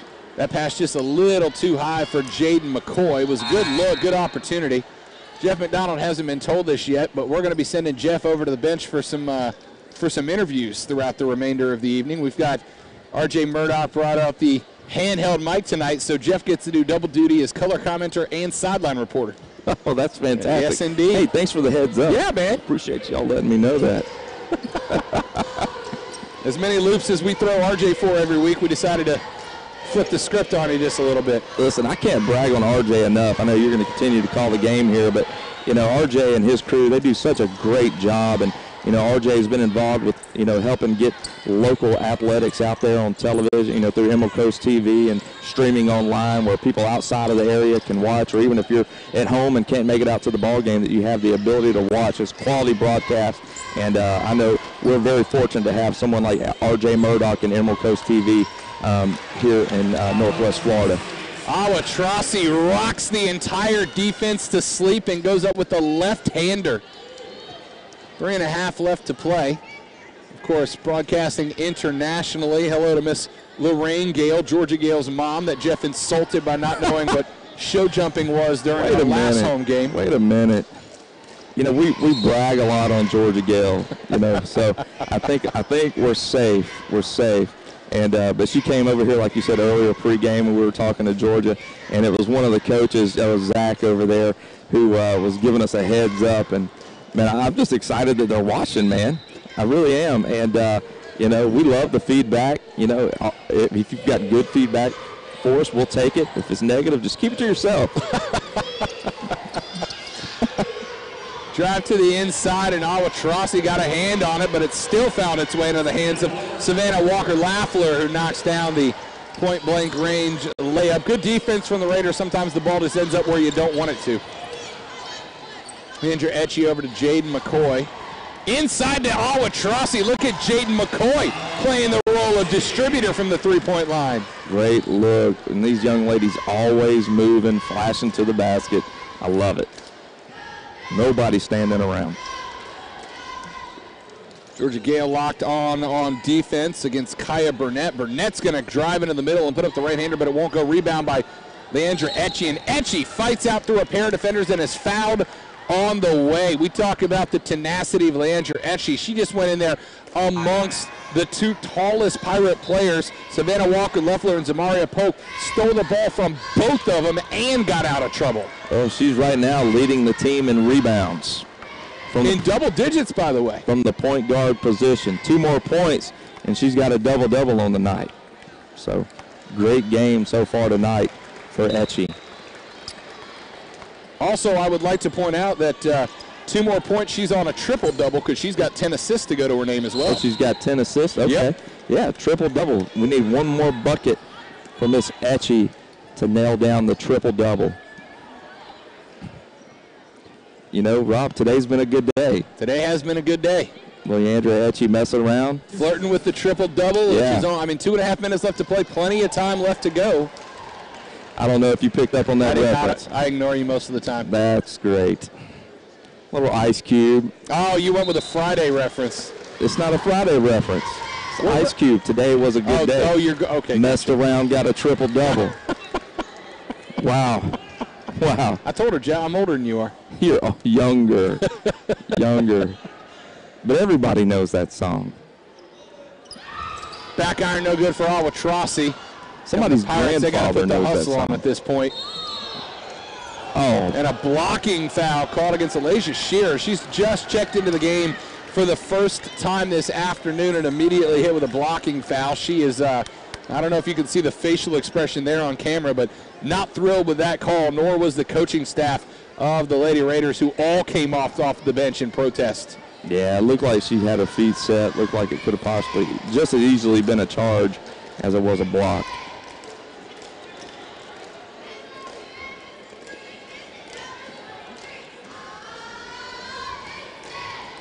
Second free throw is good.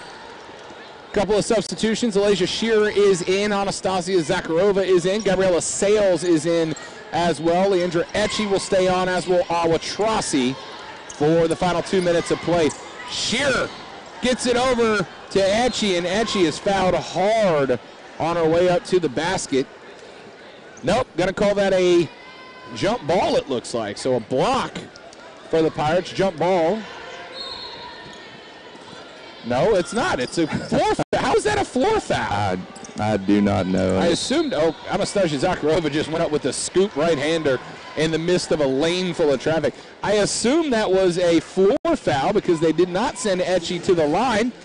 I just assumed it was a jump ball, but then they called it a floor foul, but she was clearly in the process of shooting.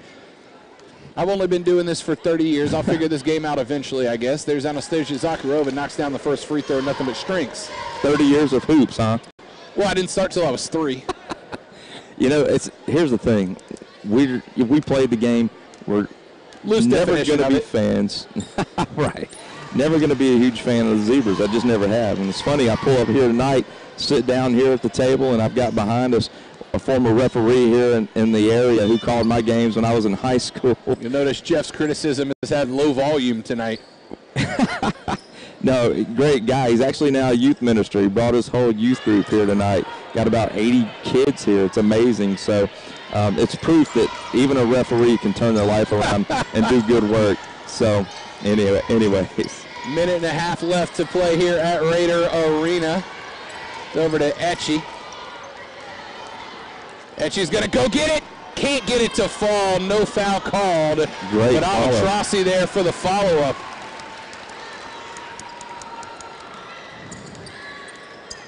that's 13 points now for Trossi. Great comeback ball game for her. And there's an offensive foul called, so that time it is going to be called, and we'll come back the other way. That one's going to be on Savannah Walker Laffler. That is her fourth foul with a minute 12 left to play. And this is kind of one of those times, Jeff. We talked about it the other night with the men's team when they were looking at getting to the century mark. Sometimes it's hard not to be a fan to openly root a little bit. I think we're all kind of hoping that Leandra Etchie finds those last two points before the clock hits triple zeros. Inside pass to Shear. There it is. Over to oh, the foul. No, the travel is called. Leandra Etchie was wide open to get the last two, and Shearer could not control the right foot before throwing the bounce pass over. So inside of 56 seconds left on the clock here.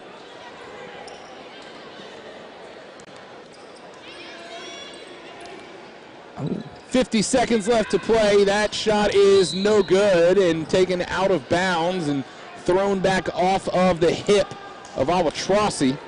So the Pirates will get a fresh shot clock. 47 seconds left on the clock, 30 on the shot clock. Long range three is no good. It's on the ground, loose ball, and jump ball called, pointing towards that end of the floor. So it's a jump ball, and the Pirates will retain possession and another fresh shot clock. 41.5 left on the game clock. We'll call this one for your radio style and get the score and the video back up for you here in just a moment. Pirates are inbounding underneath, kick it out to the three-point line, and an offensive foul called underneath. That one is going to go against it. Appeared to be Saden Mobley when they were trying to get the ball on the inside. Mobley threw a little forearm right into the gut of Anastasia Zakharova. Zakharova reacted violently and ends up drawing the foul. That's going to be on Savannah Walker Laffler. Will ultimately get the call, and Walker Laffler is fouled out. That is her fifth.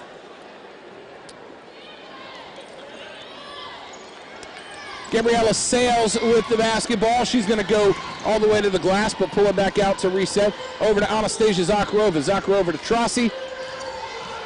26 seconds on the game clock. Trossi to Zakharova.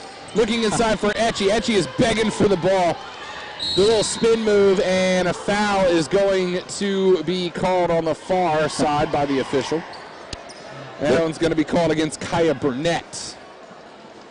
It's like you know it. They know that she needs two points. They're working hard to try to get her the ball. So they really kind of designed that. Etchy came off of the screen and flashed out of the basket, and I haven't seen her eyes that wide all game long. She was looking for that deuce. Awa Trossi tried to get it to her, but was fouled beforehand, so Trossi's got an opportunity to earn the two. First one is good, 19.2 showing on the clock.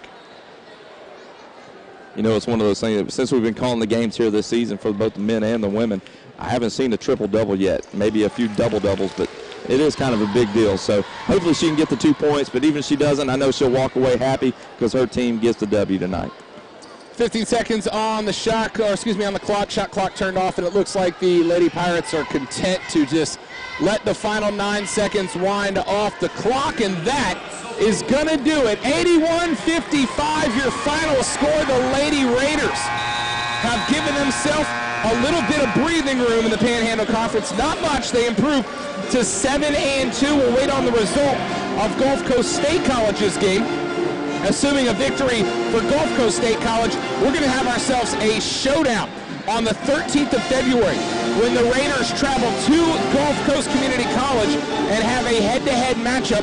They will have one Panhandle Conference game remaining, excuse me, two remaining, as they've got Chipola back here on February 16th. We'll have that call for you. And they will finish up on the road, excuse me, at home, uh, no, on the road at Tallahassee on the 20th of February. And that game, of course, will be the uh, finale for Panhandle Conference play. So top to bottom, a really good game overall for the uh, for the Lady Raiders. We are sending Jeff McDonald over to the sideline to see if he can get us some exclusive sideline interviews. He'll try to grab a couple of coaches and players over off the bench.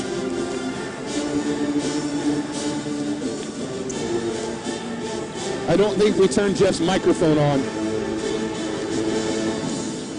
Now we'll get uh, we'll get some audio from Jeff here in just a minute. The difference tonight. I think they've gotten a little more focused. You know, obviously there's a, a lot at stake, and uh, we wanted to protect our house tonight. I thought we had a couple of good days of preparation. Uh, you know, we did have a couple of bonehead plays, but you know, I was happy with our effort, and we, we did a lot of good things. Yeah, we noticed that Etchy was two points shy of a triple-double tonight. Looked like they tried really hard to get it through there at the end, just fell a little short. Yeah, I think that's what we were trying to do. I didn't even realize it. I never paid attention, but the coaches started talking about it on the on the bench, and if, we probably should have made it more of a concerted effort to do that. But hey, we play to win, not to put up fat. Absolutely, and I doubt she's upset about that. She's a winner.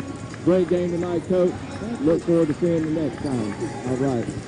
Here's my man Jeff McDonald alongside Coach Bart Walker for that post-game interview. And thanks to Coach Walker for spending a few minutes with us. As Jeff mentioned there just a second ago, Leandra Etchy just two points shy of the triple-double, something we've not seen this season, at least at home here in Raider Arena. Coach said they were they were working on it there at the end, trying to get Etchy those last two points. But uh, as Coach said, look, Jeff, you play for the win not to pad the stat sheet. That being said, it's kind of fun to pad the stat sheet a little bit in games like this. Oh, absolutely. And we, you and I both know that, you know, that's not the type of ball player that Etchy is. She's very unselfish, very much about the team. And uh, but it, like you said, it would have been nice if, had they known or had he realized they would have made a concerted effort to, to get her that bucket. But I think that her teammates knew, and that's all that mattered. And they tried, but at the end of the day, they got the big win, and they're really in a good spot here um, down this home stretch. So 19 of 45 from the floor went the Pirates, 2 of 8 from behind the arc, and 15 of 19 from the stripe. Really the only portions of the game that they lost were the production from the field, obviously, and the rebounding game. Out rebounded by the Lady Raiders, 35 to 19. Lady Raiders 34 of 65 from the floor, including 4 of 12 from behind the stripe. Nine of just 11 free throw efforts on the night, but we mentioned the one stat that we wanted to see kept down the last few games is the turnover number. We've seen it threaten to get to 20 a few times. Tonight, just 10 turnovers all game long for the Lady Raiders. So the few things we've talked about the last few weeks.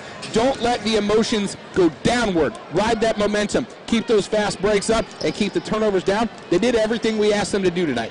Yeah, absolutely. Everything that we've been talking about, the struggles that we've seen happen here when we call these games on Saturday nights, last Wednesday night, and uh, we avoided those traps here tonight. So I feel really good about where they are right now going into the home stretch of conference play. Like you said, we've got two more ball games and con- actually stretch at three ball games left to go in conference and uh, finish strong, get ready for the state tournament. All right, we're going to take a real quick break. We're about 15 minutes away from the starting lineups of the men's team as the Northwest Florida State College Raiders welcome the Pensacola State College Pirates here to Raider Arena. My name is Rob Brown. Jeff McDonald is your color commenter. RJ Murdoch and the cast and crew of Emerald Coast TV bringing you all of the Raider basketball action live from Niceville, Florida. We'll take a real quick break. We'll bring it back here to Raider Arena, get you set for the men's tip. Thanks so much for watching. My name is Rob Brown. You're watching Raider basketball here on Emerald Coast TV.